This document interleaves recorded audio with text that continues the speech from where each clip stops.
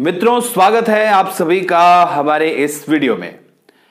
दोस्तों, मैं हूँ एस्ट्रोलॉजर सुनील शास्त्री और आप देख रहे हैं ज्योतिष से संबंधित कुछ विशेष और एडिशनल जानकारियाँ। मेरे मित्रों, मैं आपको बताना चाहता हूँ इस वीडियो के माध्यम से महाराज राहु के बारे में।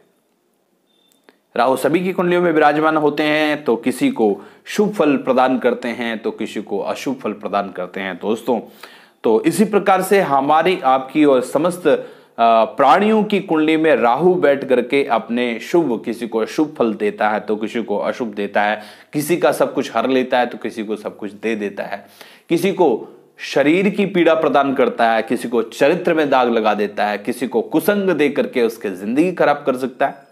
किसी को शरीर में रोग दे करके जीवन में सब कुछ होने के बावजूद भी ये दुख हृदय में दे देता है। और किसी को तो सब कुछ होने पर भी जीवन में इतना भटकाव इतना भटकाव, इतनी अस्थिरता दे देता है कि समस्त सुख साधन होने के बावजूद भी वो अपनी ज़िंदगी बेहतर और अच्छी से नहीं जी पाता है। कह, कुल मिला करके कहते हैं या फिर कह सकते हैं कि ऐसा व्यक्ति पैसा दुनिया के लिए कमाता है। है ना दोस्तों? देखा होगा आपने, कई लोग करोड़पति अरबों खरबों पैसा कमा रहे हैं। अंधाधुन।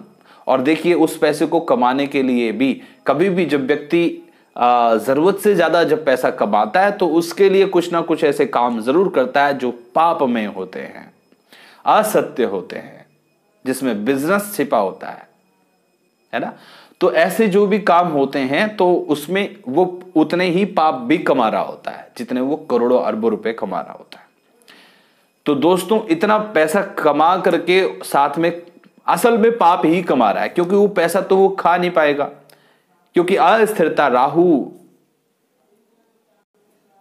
दे रहा है, कुछ ग्रह दे रहे हैं तो जीवन में जो है, खा नहीं पाता, बीमारियाँ लग जाती हैं, दुनिया भर का पैसा है, उसको डाले कहाँ?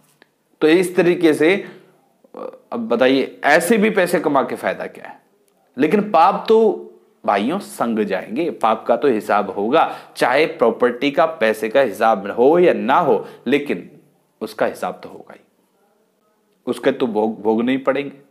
पैसा चाहे कोई भी खाए, लेकिन जिस तरीके से और जिस पाप को करके या सुख, पुण्य को करके यदि जो पैसे कमाए हैं, काम किया है, उसका सुख तो आपको ही भोगना पड़ेगा। उसी व्यक्ति को भोगना पड़ेगा जिसने ये सब इकट्ठे किए हैं।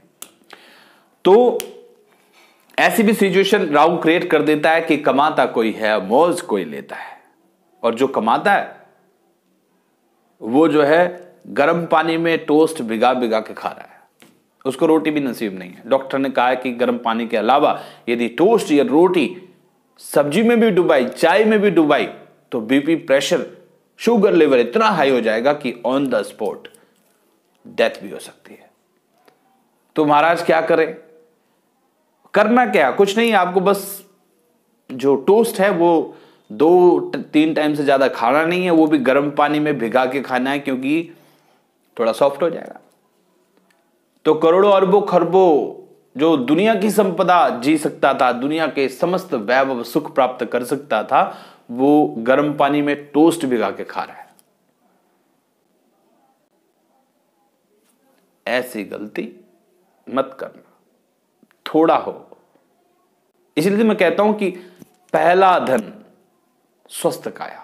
अपने काया काया को स्वस्थ रखो, जितना दिया है, उतने में संतोष करो, परमात्मा का बुरे काम मत करो, शांति से करो। तो राहु भी आपको शुभ फल देगा और भगवान भी। तो इसीलिए दोस्तों, राहु के ज़बरदस्त ऐसे तीन शुभ फल हैं, जो हर व्यक्ति को मिलते ही मिलते हैं राहु कुंडली में अच्छा हो तो भी मिलेंगे राहु कुंडली में खराब स्थिति में हो तो भी मिलेंगे।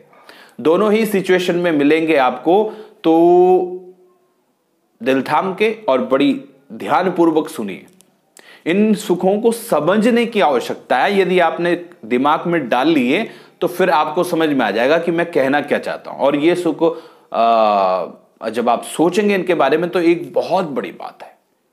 पहला सुख है राहु का कि हमेशा राहु व्यक्ति को आज़ाद कर देता है, आबाद कर देता है। अब आज़ाद और आबाद को आप बोलेंगे कि ये क्या क्या सुख हुआ? लेकिन दोस्तों मानो कि कोई व्यक्ति अगर कई टाइम से जो है वो फंसा पड़ा है, ऐसी जंजाल में फंसा पड़ा है, या फिर कई ऐसे कारागार में फंसा पड़ा है, या कुछ ऐसे कुसंग लोगों के साथ में कर रहा है तो उस स्थिति में वो सालों से सोच रहा है कि मैं अगर छूट जाता, मेरी स्थिरता न रहती, अस्थिरता हो जाती। संसार में टिक नहीं पाता। एक जगह पर नहीं टिक पाता तो भाई यहाँ भी नहीं होता, फंसा नहीं होता घुमरा होता।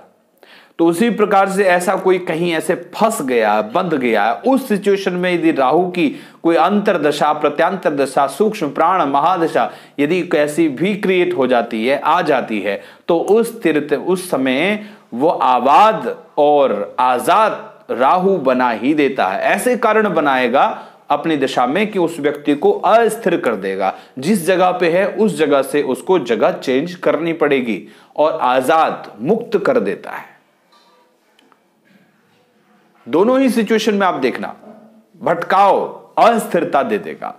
तो पहला मुझे यह सबसे अच्छा गुण लगा राहु का उस स्थिति में जब उस पर चलेगा तो व्यक्ति आज़ाद मुक्त हो जाएगा और कहीं ना कहीं वो भटकते हुए अपने लोगों, अपने परिवार, अपने व्यक्तियों के पास में पहुँच ही जाएगा। दूसरा बहुत बड़ा अच्छा गुण राहु का जो है, वो इस प्रकार से है कि व्यक्ति को हर मामले में और अपने जीवन में सक्षम बना देता है। उसके अंदर वो गुण दे देता है। ये राहु की, राहु का प्रभाव है। दोस्तों, राहु खराब हो अच्छा हो, कुंडली में, दोनों ही सिचुएशन में मैं कहूँगा कि राहु जब व्यक्ति के जीवन में आता है तो बहुत सारे ऐसी चीज़ें सिखा देता है बहुत सारे ऐसे गुण दे देता है। दुनिया की चालाकी, दुनिया की अस्थिरता, दुनिया के तमाम गुण, तमाम आदतें अच्छी बुरी सब सिखा देता है। क्योंकि जो पहले वाला जो मैंने आपको बताया, अस्थिरता, यानी कि भटकाव भटकाव जब जीवन में आता है तो आदमी भटकता है। और जब तक आदमी भटकेगा नहीं, तब तक उसको गली गली का, मोहल्ले का देश देश का मतलब गली गली का उसको नॉलेज नहीं होगा। आदमी आदमी का। हर औरत, हर आदमी, हर एक दूसरे आदमी को जानेगा। हर एक दूसरी कंट्री में घूमेगा, हर एक दूसरी गली में घूमेगा। हर एक घाट घाट का पानी पिएगा। तो दोस्तों, यही तो सफल होने के राज है कि जो व्यक्ति सफल होते हैं वो समाज में और उनके जीवन में चलने की क्षमता बहुत होती है। बहुत घूमते हैं, बहुत परखते हैं, बहुत पढ़ते हैं, तभी तो सफल हो पाते हैं। क्योंकि राजा वही सफल होता है जो प्रजा के बीच में जाकर के हर एक एक आदमी की बात सुनता है। हर गली मोहल्ले की, हर समुदाय की बात सुनता है। तब मुझे समझ में आता है कि प्रजा को सुखी कैसे रखना है? नेता लोग होते हैं ना वोटिंग के टाइम पे या फिर बीच बीच में जो अच्छे नेता होते हैं वो आ, बिना वोटिंग टाइम के भी प्रजा के बीच में घूमते रहते हैं है ना? क्यों? क्योंकि उन्हें छोटे तरीके से जनरल तौर पर समझ में आ सके कि लोगों को कोई परेशानी यदि है तो कौन सी है? और कैसे लोग जो है प्रभावित हो सकते हैं कैसे लोग सुखी हो सकते हैं? तो ऐसे नेताओं को सैल्यूट है लेकिन बहुत कम होते हैं। ऐसे ही राजा नेता का मतलब राजा ही होता है आज के समय। तो सम, पुराने समय में राजा हुआ करते थे। तो राजा की बात मैं कर रहा हूँ तो वही राजा सफल हो सक्सेस होता था। उसी को ही जनता प्रजा प्यार करती थी प्राणों से भी ज़्यादा। और उसी के राज में देवता भी प्रसन्न होते थे और व्यक्ति भी प्रसन्न होते थे। ठीक उसी तरीके से दोस्तों सक्षमता जीवन में बना देता है। बहुत सारी एबिलिटीज लाइफ में दे देता है, जिसके कारण राहु की माँ दशा में नहीं तो कोई बात नहीं, अगली दशा में व्यक्ति नॉलेजेबल तो हो जाता है, और वही नॉलेज उसका एक दिन सक्सेस बनता है प्रोग्रेस बनता है। तो सक्षमता, ये दूसरा मेरे को बहुत बड़ा गुण लगा, जो कि सक्षम हर एक व्यक्ति को बना देता है। अब वो व्यक्ति इतना होता है। अब आप खुद ही, एक छोटी सी बात है, हमारे बच्चे होते हैं या किसी के छोटे बच्चे हैं, जब वो पहले पहले बाहर जाते हैं तो घर से बाहर निकलते तो कितना माँ बापों को यहाँ हार्ट में कितना 24 घंटे यूँ यूँ यूँ करता रहता है है ना? कहीं गिर ना जाएँ, कहीं कोई बुरा आदमी ना मिल जाए, कहीं किसी की बातों में ना आ जाएँ, कहीं गाड़ी में उतरते चढ़ते कई तरह की टेंशन कई तरह के ख्याल दिमाग में चलते रहते हैं। लेकिन वही बच्चे जब घूमते घूमते, जाते जाते जाते जाते एक दिन थोड़ा सा प्रौढ़ हो जाते हैं और सारी नॉलेज उनको हो जाती है, तब माँ बाप नहीं, उतना नहीं डरते। बस थोड़ी सी फिक्रित करते हैं। लेकिन उनको पता लग जाता कि हमारा बच्चा अब बहुत ज़्यादा शार्प माइंड हो गया, हर चीज़ को जानता है। वो जानता है कि सामने वाला बोल रहा है तो उसका जवाब क्या देना है? उसके जीवन में अब अस्थिरता आ गई, क्योंकि जब तक स्थिरता थी तो नॉलेज कम था। हालाँकि सब कुछ रहा होगा, लेकिन नॉलेज तो कम था। लेकिन जब अस्थिरता बनी, अब रोज ऑफ़िस जा रहा है, रोज मार्केट जा रहा है, रोज सब्ज़ी लेने जा रहा है, रोज दाल लेने जा रहा है कई तरह के काम होते हैं जीवन में। तो अब सारी चालाकी आ गई।